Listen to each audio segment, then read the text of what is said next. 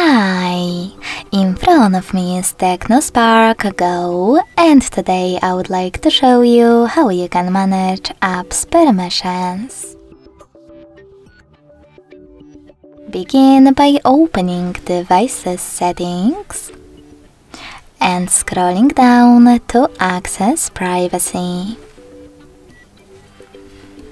After that, click on App Permissions and tap on one of your device's features that you wish to manage. I will go with Camera. Now click on one of your apps under one of those categories Allowed all the time, Allowed only while in use, or Not allowed. I will go with Chrome from Not allowed section. Then click on the best option for you in order to apply it. Allow only while using the app, ask every time, or don't allow. I want to set up the first one, so when I click and go back,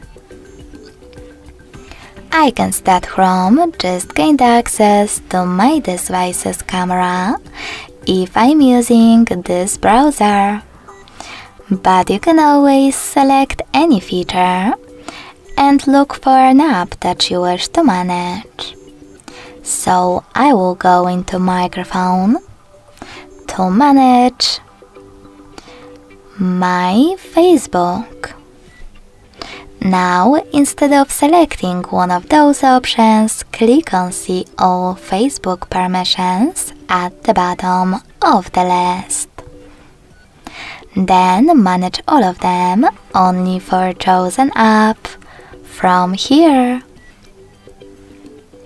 Thanks so much for watching. If you enjoyed this video, don't forget to leave a like, comment and subscribe.